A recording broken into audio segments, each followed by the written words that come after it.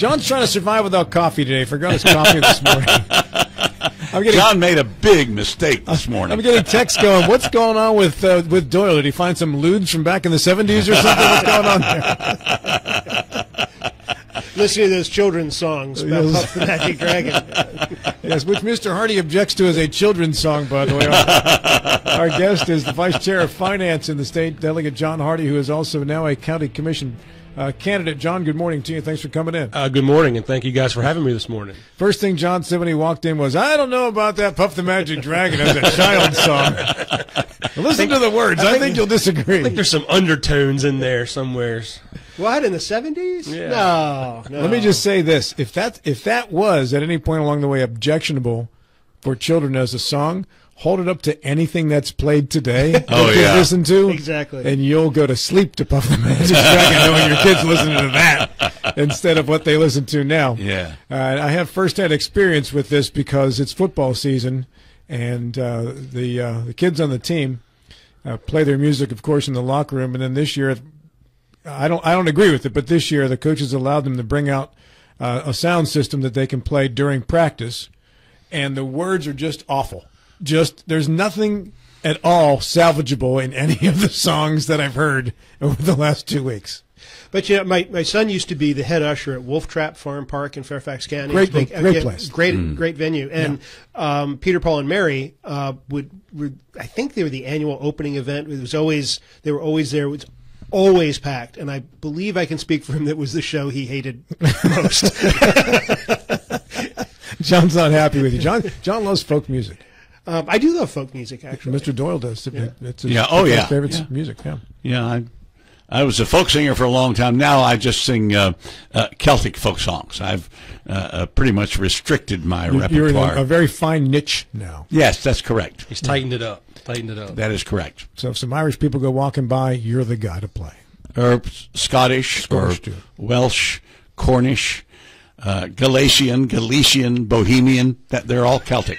Okay, are, are you being serious now? no, I'm serious. Yeah. Okay, don't, I love that music. Yeah, don't yeah. question John yeah. on that kind of stuff. No, well, you, every now and then you poke people, yeah. and, I, and I don't know, I don't know if it's true or not. So, I don't, first, I don't know what you're talking about, John. And he does enjoy poking me. yes, he, he really does. hey, uh, Mr. Uh, Hardy. So uh, let's turn our attention to some of the information you may have heard in the first segment we had with Eddie Guckenauer and, uh, and, and Gary Wine in regards to Berkeley County. Anything stand out for you there? Well, I caught you know some I caught bits and pieces of that as I was trying to handle another little issue this morning with work. But uh, yeah, I mean, it sounds like you know the county commission has a good plan. There is some antiquated things that are in uh, county uh, code or in state code that probably need to look back, uh, take a look at some of the uh, the way that we draw those monies back or, or, draw that back from the from the counties when they do have growth, and so some of those things are definitely antiquated.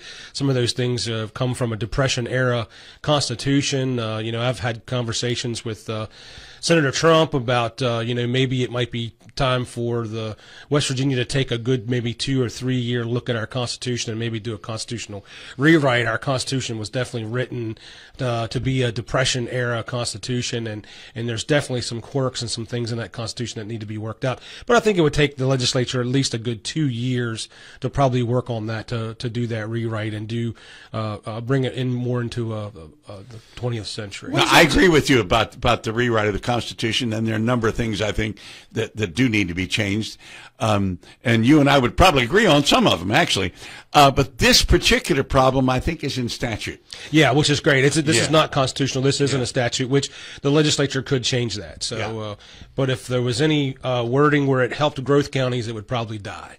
So uh, we'd have to we'd have to make sure that it had a spin where uh, you know. The, I had a conversation with uh, uh, a delegate that has just recently left the legislature, and she had been there for quite some time, and she she had uh, some of the feelings that I had of the divisiveness that, that is in the House right now with the the North versus the South, the haves versus the have-nots. The panhandles are in a different uh, kind of uh, economic status than other parts of the state, and so there are some areas that will vote against things that to help uh, growth parts of the state just for no other reason than to just to vote against them. So I hope that uh, you know this divisiveness that's in the legislature right now um, does not grow, and uh, and I hope that some of that was.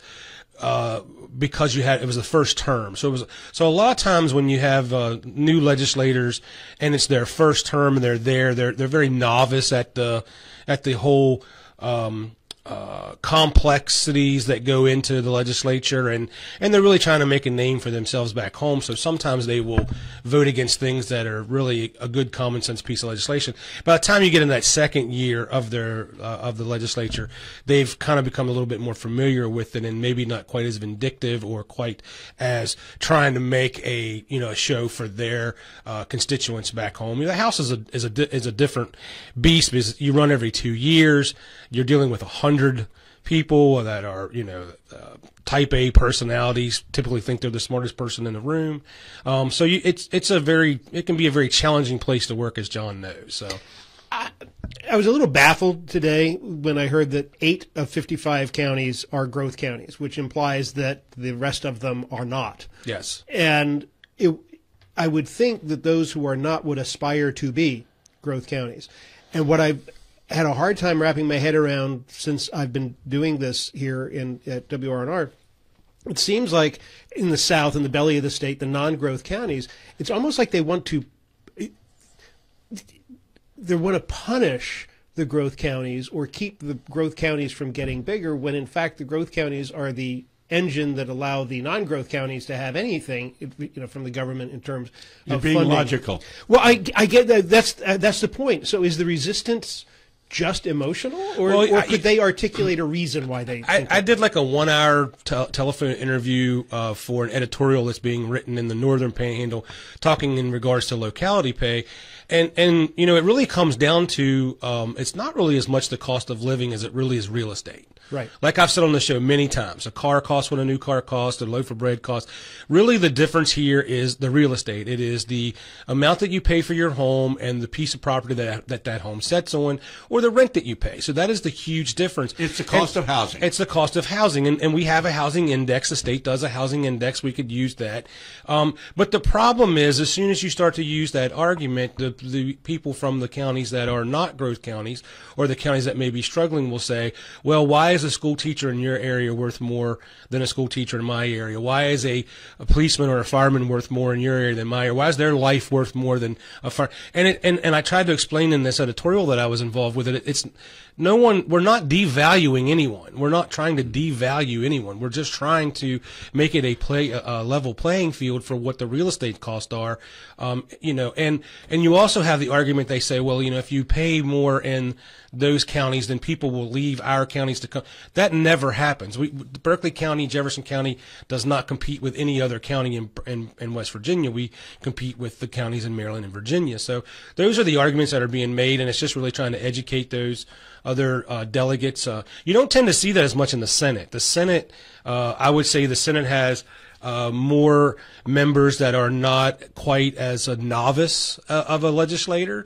Uh, they've got a little more time under their belt. They've done it a little bit longer, so they kind of work better as a whole. A number of them have served in the House Yes, before they yes, went to the yes, Senate. Yeah, and The, and the House has been had quite a turnover. We've been turning anywhere between twenty seven to thirty two members every two years. So you have that new, uh, you know, you have delegates leaving, you have new delegates coming. So it's everyone's always trying to prove themselves. It seems to be in the House. So so is that churn mostly with other new delegates? The, so after one term, somebody's being replaced by a new one, or are we losing a lot of institutional knowledge and experience? Uh, I would? I would say last session we lost a good bit of institutional knowledge. I think the next upcoming session uh, we're going to be losing some people that have you know that are pretty strong, and, and I'm not just saying that because I'm leaving, um, but uh, there there are some people that's going to be leaving leaving the house. I mean, uh, Paul Espinosa is uh, running for the Senate.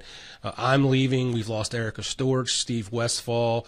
Uh, you know, some people that have really been there for a while and uh, and have some really good you know knowledge of how the legislature works. But we've also picked up some really good legislators too. So we, you know, uh, the legislators that we've picked up here in the Eastern Panhandle uh, are working really hard and, and doing a great job. Uh, uh, Harrison County has brought a new delegate that's uh, this be his third term. Uh, but but there's been some new people come in. So you know it all seems to work out, but uh, it, it does sometimes become a little frustrating of a place to work. Last week, uh, changing course a little bit. Last week, uh, Senator Rucker was on here and complaining complains, maybe not the bemoaning, uh, distressing about the sheer number of bills that were dropped during the special session without ample opportunity to read them or evaluate them, and then asking to be voted on them. Um, what are your thoughts on that? And How does that happen in the? Well, I think the last special session was completely ridiculous. I mean, there's no reason to have 43 bills on a special session. There's not special sessions are for emergencies, and you know if there's something that needs to be taken care of immediately or moving money around. A lot of times in special sessions, we move money around because there's just a we need to give spending authorities. There's appropriations that need to be made, pull money from one account to move to another account. Uh, you know that that's what special sessions are for. That, that special session just kind of got out of hand. Uh, I'm not going to put it all in the governor's office. I think the governor's office had some uh, culpability in it. The Senate had some culpability in it, and I believe the House did too. Uh, everybody just had some wants and some things they wanted to do, but uh, some of the legislation that we were voting on was ridiculous. I mean, trying to come in and, and give money to things that could clearly could have waited till January. I mean, I went down there uh, really willing to be able to vote for the fire and EMS bill um, that we worked very hard on, and uh, actually the bill ended up coming out pretty good. I mean, um, there was a pretty good fight in House Finance on that piece of legislation. Um, and I went down there uh, willing to vote for the corrections bill and uh, $150 million for uh, uh DOH, and that's really all I was really interested in voting for, and some spending authorities and such. But uh, that session just completely got out of hand. We had an 11 hour finance meeting on uh, Monday uh, vetting all of those bills and going through all all that legislation. So uh, I think that the the uh, the House and the Senate and the governor's office really need to keep those special sessions in check. And if you if you remember, we only had one this year, and this you know it, it waited all the way till August before we had one. Sometimes we'll have two. So I think there was just a lot jammed into that special session. I do think that the, this special session indicates, John Hardy, something you said earlier that I agree with, that some, some constitutional changes. Well, I think there is too much authority given to the governor when it comes to special sessions in terms of, of uh, when are we to have them, how long are they to be, uh, what goes on the call.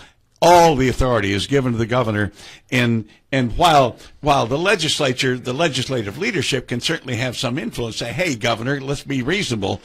It really is up to the governor to agree with the legislative leadership. Okay, we'll do it your way. The way the Constitution is written, the uh, the the governor is in complete command of of special sessions, of special extraordinary sessions. Correct. And and uh, I I think there needs to be some tweaking of the Constitution. Well, there. I, I mean, uh, you're in you the governor and some people in the Senate and some people in the House are in reelection mode, and there was a lot of spending going mm-hmm. on, and you know, uh, there's nothing better than showing up somewheres for you know a campaign event and handing out big checks. I mean, so we, you know, there was a lot of checks that that are going to be handed out in the next couple of weeks. That's coming from the governor's office, and and and that's not to say anything derogatory about the governor, but I mean, also the Senate. There's some money being handed out from some senators, and and uh, so there's people that uh, really going to use that to their uh, to their advantage. How did this get so spun out of control?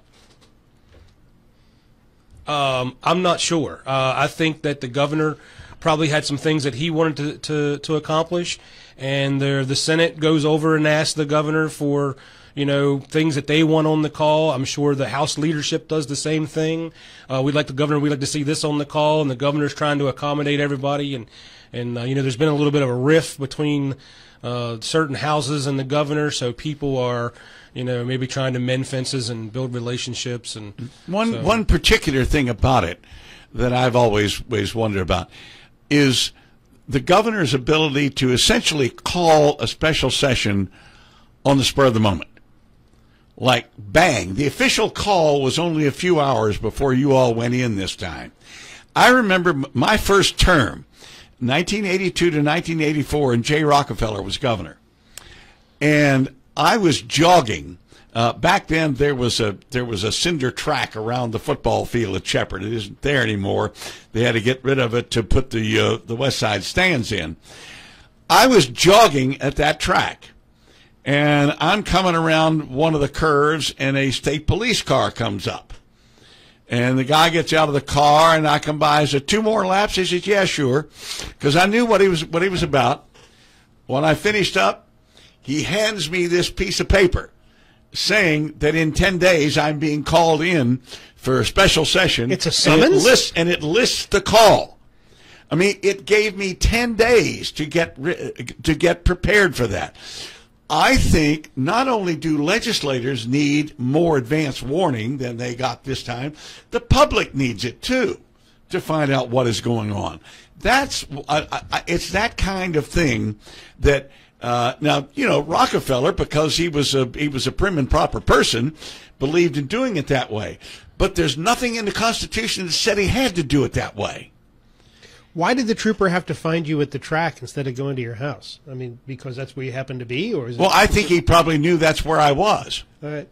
my, my guess is you jogged there quite often. Yeah. yeah, it, it is a little shocking how quickly the call's been. Con- we had we literally had delegates that were coming in once we were already on the House floor on Sunday night. Um, you know, one delegate told me he was on his farm doing some stuff because he didn't really have a meeting till the next till Monday, I believe. So the, you know he had to An interim meeting for An the interims, yeah. for the interims. And then when you throw a special session in there, when you have the interims, you just take those interims and just they're just garbage. You just don't get to any of your interim stuff. And sometimes you have lined up stakeholders or you've lined up speakers to come in and speak on a piece of legislation that you're trying to develop, and they may have traveled from you know from some time. So you know th- those those special sessions they can get a little hairy and and uh, they're they're not my favorite thing to do and um, especially when you have that much you know that's that's come before you then you have to try to vet 43 pieces of legislation. If you think about it, we typically pass about 250 pieces of legislation, so we did almost one fifth of the work that we do in the legislative session. We did in like you know two days. So. Yeah. John, weren't most of those bills, though, bills you folks have been familiar with at the end of the session that you didn't get a chance to pass? Not all of them. I mean, a lot of it was new money. Forty-five million dollars to Marshall for their cybersecurity uh, um, program that they are trying to develop, which I did not vote for. I think that that could have waited till January. I think we have schools that are closing. We have schools that are having financial issues. I don't think it's a good look for the legislature to be given another university that is basically to me is a duplication of services that WVU is already offering forty-five million dollars in a special session. Um, you know, there was so there, there was some things that we just uh, that I didn't agree with, and there was some things that was a lot of new legislation. So some of it was stuff that we had worked on in the regular session. Uh, but you know, some of that stuff was just new and just and the, to change the funding, how we were going to fund the rainy day fund. I mean, just to snap your fingers, and now we're changing how we're, cha- going to fund the rainy day fund again after we had just changed it. in the, you know, th- I, that didn't sit well with me either. I mean, It didn't I, go through, though, did it? no, I killed it. I mean, I mean I'm, I'm not going to say I killed it, but yeah, I killed it. Let's just say John Hardy was very opposed to that piece of legislation in House Finance, and I worked very hard to build a consensus to kill it because I didn't agree with it. Fair enough. Yeah. Delegate John Hardy is our guest. He is the Vice Chair of Finance, a candidate for County Commission now in Berkeley County once his uh, term expires after the next time you folks go in in January of 24. Yeah, and I would like to talk a little bit about uh, what the what the county commission, uh, what uh, Eddie Gokenauer and and uh, Gary talked about this morning. You know, there's a lot of things.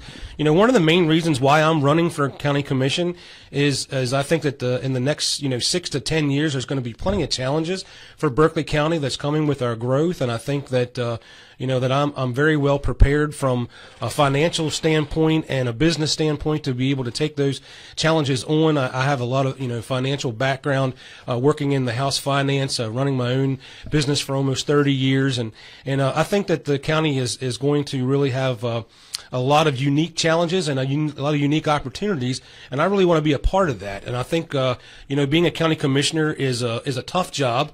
You have a finite amount of um, resources to be able to draw from. You have certain responsibilities that must be met. You've got to manage a balanced budget. You have to be able to uh, fully fund your uh, emergency services, your fire, your EMS, your police, 911. So you have to really make sure that you're doing a good job with that. You have your own county payroll that you need to take care of. And then you're constantly working on the challenges that are before the county with growth. So uh, I'm excited to be a part of that. I, I know that the county is really pushing this 1% sales tax. Um, and I think there's some legislation this year that may be introduced that that may give the counties the ability to do a one percent sales tax. It would be completely permissive. Uh, the counties would have the it would be permissive for them to do it, but it would first have to pass a referendum. I think uh, the legislation that's being proposed that it would go out for a public referendum. Uh, referendums typically have to pass by sixty percent. Uh, I Of think Berkeley County voters or the state? Berkeley County, so it would it would affect Berkeley County, so it would be a referendum for Berkeley County. So all referendums have to pass by sixty percent unless they're education. Education referendums can pass by But fifty that's percent. property tax. I believe you all could write this legislation uh, with a different uh, margin of victory. I think because we could doesn't mean we would. I know. Yeah, so I, I think that it would probably meet the regular standard of what the state has put forward for referendums at the 60% threshold. Um, so, you know, I, I, don't, I don't know if I would support that legislation yet. Uh, I haven't, it hasn't been fully vetted. I haven't seen it. Uh, I think that there would have to be some uh, withdrawals of some other fees that are now being paid by Berkeley County citizens before I could support that. But there is some movement, uh, you know, like I said, completely being permissive by the counties. If a county doesn't want to do it, they don't have to do it. I see. I think it should be fifty percent, and I also think it should be fifty percent for for county property taxes, like it is for the schools. But that's that's my opinion. Yeah, yeah. I like the sixty percent threshold. I, I, I, I like that. So, but we'll see where that legislation goes. I, I've I've said on this radio show quite a few times that the one percent sales tax to me is not super hateful uh, because it does pick up uh, a lot of the pass through economy that we do not uh, take up right now. It also picks up a large portion of the cash economy that we're not uh, picking up right now. And also, it gives a lot of flexibility in people's spending habits and how they spend their tax dollars and how they want to spend their money on their sales tax. Um, I think that's a much better route to go. I know there's been some uh, communications about doing a uh, public's uh, uh, emergency services or uh, like a levy. Uh, you know, I think if you try to pass one of those, I'm not sure if that passes, and if it does, it puts all that burden on Berkeley County landowners and homeowners. Uh, where if you do have the one percent sales tax, you're now spreading that around and, and getting some of that revenue from your pass-through economy and your cash economy that you would never be able to tap to on, on into on a levy. So.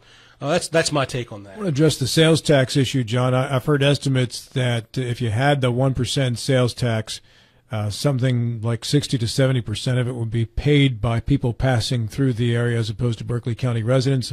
You touched on this, and I'm wondering if you'd be in favor of the equivalent offset. Doesn't have to be exact uh, for Berkeley County residents. Maybe, for instance, the one percent sales tax would then fund the fire and ambulance fees, and then the residents could have those bills greatly reduced or completely eliminated, uh, since uh, they, they'd already be paying additional in sales tax. Yeah, yeah, I've heard that this the one percent sales tax would generate anything every anything from around eight million to eleven million is is the estimates that it has. Uh, you know, the numbers that have been run that it would generate. Uh, I'm not exactly sure what the stormwater management fee generates. I don't know the percentage of people that even pay that. There's some Berkeley County citizens that don't even pay it. They're not going to pay it. Uh, so I'm not sure what that's generating. I'm not sure if there would be able to be a reduction in the fire fee, if there would be able to be a reduction in the ambulance fee. Um, so we could, our citizens, our, our, you know, our citizens that are here in Berkeley County could receive some relief from that being offset by the pass-through economy and the cash economy. Uh, also, I, I really worry about our seniors and our aging population. Um, the homestead exemption has not changed in since the maybe the early 70s. It's been twenty thousand dollars. It has not changed. Uh, we're, we're, now starting to the assessments on real estate uh, is really starting to climb. Uh, we saw the assessments on uh, personal property skyrocketed uh, this year uh, due to the two-year freeze, and and also I believe.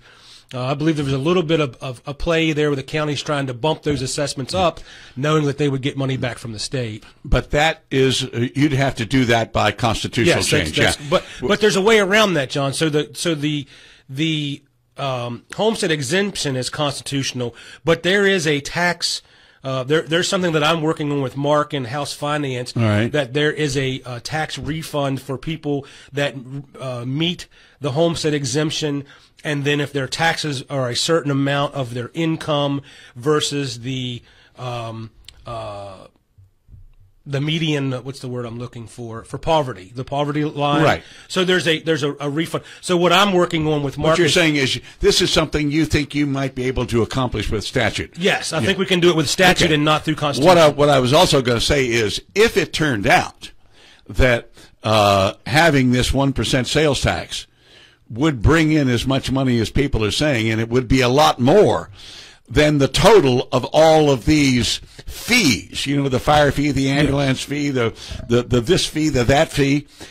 It sure would help uh, pass this thing in a referendum Yes. if you would say to people, hey, if you pass this, you're not going to have to pay all these nuisance fees you've been paying. Right, or, right. or And- at least a greatly reduced amount. Right, and the and the thing that that I've been working with in House Finance is the senior citizens tax credit, and there what I'm trying to do is uh, lower the criteria, so, so basically open that up to more seniors. Okay. So it would it would be for seniors who are on fixed income, who are already getting the homestead exemption, would be able to get a larger senior citizens tax credit uh, coming back from the state. Okay. Right now we put ten million dollars. be a tax credit on the income tax. on their income tax. Right, Yes. okay. And right now that the state puts ten million dollars, the first ten million dollars out of excess lottery goes right into that fund. Right. So I would like to maybe change the funding, make it make it more, and then lower the criteria so we can open it up to more seniors. Okay. John, final thought is yours. We're just about out of time. Well, thank you for very, very much for having me this morning. It's great being here. We've talked about a multitude of uh, of things from the legislature to the to the county. Um, I uh, look forward to being able to uh, uh, my last legislative session. I have a lot of things that I want to work on in the last legislative session. I don't believe all of them will pass. Maybe none of them will pass, but I'll pass those along to, to Delegate Mike Hite and Mike Hornby and some of the, the delegates that'll still be uh, involved in the legislature, and hopefully they can take the things that I'm working on and continue to try to move them forward. Uh, really, uh, I'm going to have a hard charge for uh, SRO fundings through the school. Uh, school funding formula for students uh, to try to get our SROs back in uh, as many as we can in the county.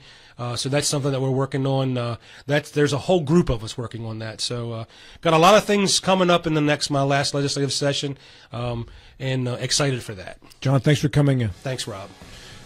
Vice Chair and the Finance Committee Delegate John Hardy.